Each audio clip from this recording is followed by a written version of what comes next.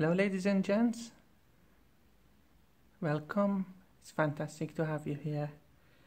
Today I've got this little box that I turned two years ago. It's one of my early turnings, and I want to make it better. For a long time, I kept it as a reminder how I turned before, and I feel like it's been just sitting there and it's even ugly to look at, you know. it's a nice wood, and I haven't done justice to the wood. Um, this wood used to be a living organism, so it deserved to be at least pleasant to look at because it's not the wood's fault that it, that it looks like that. It's my fault, and that was when I started. So it's also a good reminder to those of you who who watch me, and maybe you're a beginner, that you shouldn't be too hard on yourself. You know. My project you see now I make, it's after two years of turning, so that's what I was making before. So if you're making the same thing, you know, be proud of it. You know, you've done something, and you should be proud. But when you get better, I I feel like it's best to go back and give yourself another challenge by improving what you made. I think that that's better way at uh, better way of looking at it than keeping it as a reminder you know? Change it because it's still going to be your creation. Change it and make it look better according to your skill you know at the particular time you know? When you're better and you feel like you can improve on that piece then go back and improve it. So let's try and improve this one. Um, it's a nice tight fit for that time but look at that. I burnt it when I was parting it off.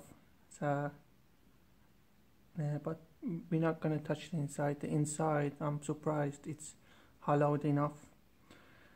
And it's hollowed to that depth. So it's it's no good making a recess at the bottom. I don't want to ruin this piece. But we can change the outside of it. Putting it on the chuck and in expand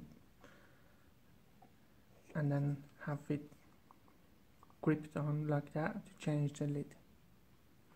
So let's get started.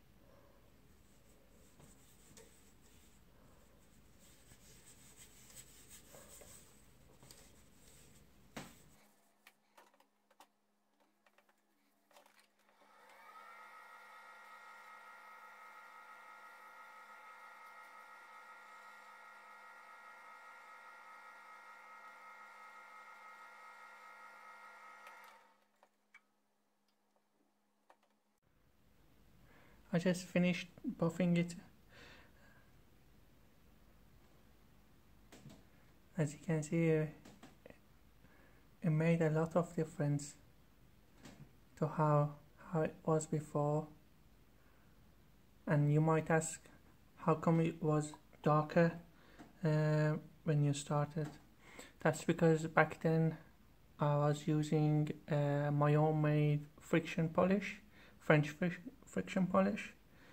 And it was the garnet version so it distorted the grain texture made it a little bit darker. Now is uh, how it should have been finished.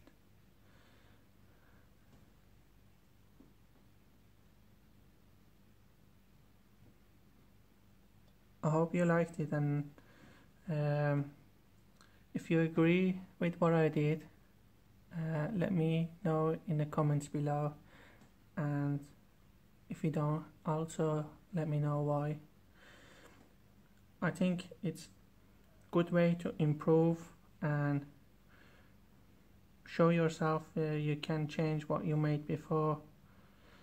It's not perfect because I couldn't change in between there but it's also uh, that those little things is also a reminder.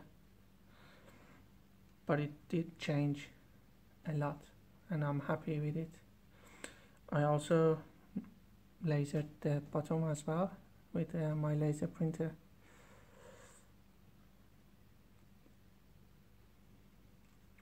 I hope you enjoyed it. Thank you for watching and I'll talk to you on the next project